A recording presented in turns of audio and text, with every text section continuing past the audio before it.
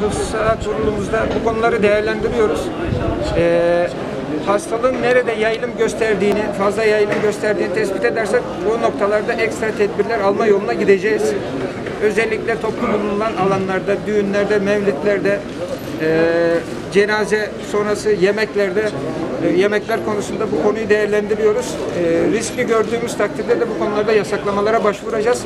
Ama bizim arzumuz şudur. Biz yasaklamalara başvurmadan vatandaşlarımız bu kurallara riayet etsinler. Sosyal hayatımız kısıtlanmasın. Şöyle yanlış bir düşünce var.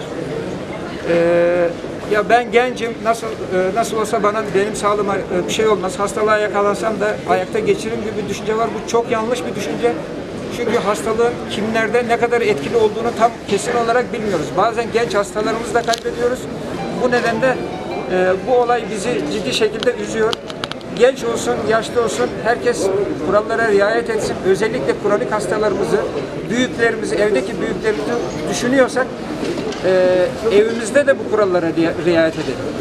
E, yani yaşlılarımızın, kronik hastalarımızın hayatını kaybetmesi hepimizi üzüyor gerçekten. Onun için dikkat malat ediyorum. Lütfen kurallara riayet edin. Sayın Valim